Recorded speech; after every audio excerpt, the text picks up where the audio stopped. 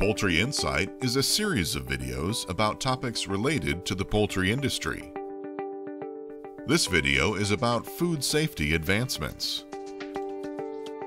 What is HACCP and how does it work? HACCP is the system that is used to implement food safety measures in processing.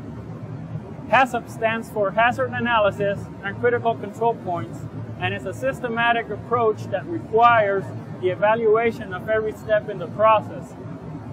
The HACCP system minimizes or eliminates biological, such as salmonella, chemical, such as sanitation products, and physical hazards, like metal, plastic, or wood.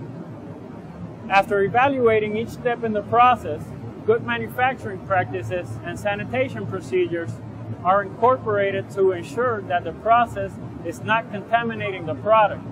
Examples of this are the implementation of standards for employee hygiene, food contact surface cleanliness, and pest control. The process is evaluated at critical control points to ensure that standards are met in reducing and eliminating hazards.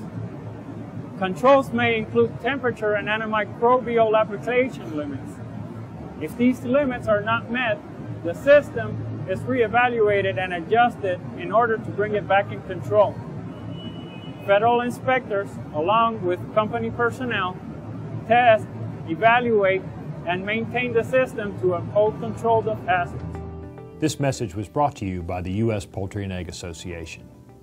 Funding for this video was provided by the International Poultry Expo. Please support our exhibitors and we invite you to attend.